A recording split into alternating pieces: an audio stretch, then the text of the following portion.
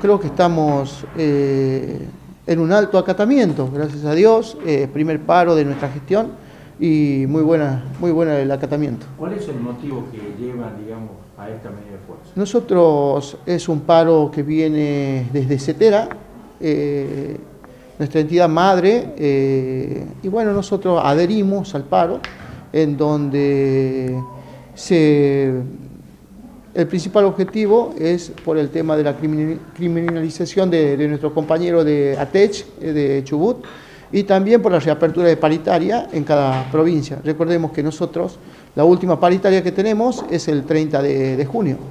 Cancino, ¿cómo está la situación en cuanto a lo que pretenden ustedes de incrementos en Catamarca?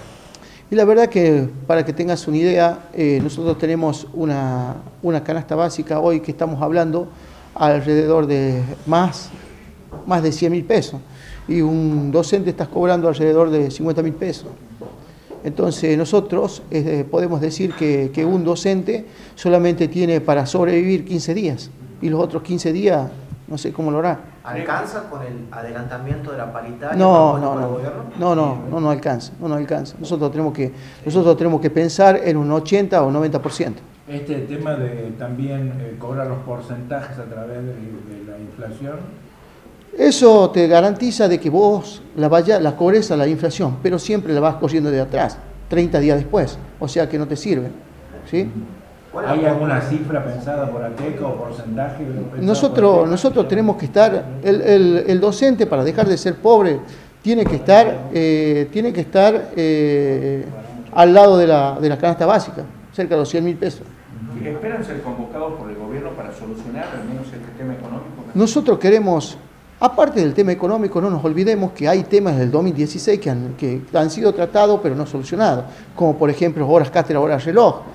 Nosotros en, febrero hemos presentado un, informe edilicio de las escuelas, y que, de aquellas escuelas que no estaban en condiciones. Está bien, algunas se han mejorado, han quedado muy bonitas, como por ejemplo en la escuela de la Chacarita, pero hay otras que no se le han tocado y, hay otras que siguen reparándose. Eh, no sé si quiere responder o cómo tomó este apoyo del legislador Fama hacia la postura del nos parece muy bueno, nos parece muy bueno que, nos apoye, que nos apoye gente, que nos apoye también. Eh, hoy en día necesitamos el apoyo de todos porque eh, realmente necesitamos que se vuelva a abrir las paritarias docentes, pero siempre recordarles que nosotros solamente estamos para defenderlo al docente con la intersindical están hablando en relación al tema de la apertura de las paritarias?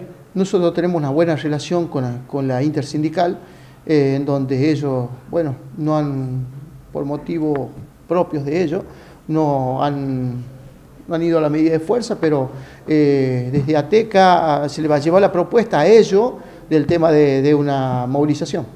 ¿Para cuándo sería? ¿Cuándo están programando? Eh, nosotros a nivel a nivel gremio ya las hemos comenzado a trabajar con, con los secretarios general de los diferentes seccionales.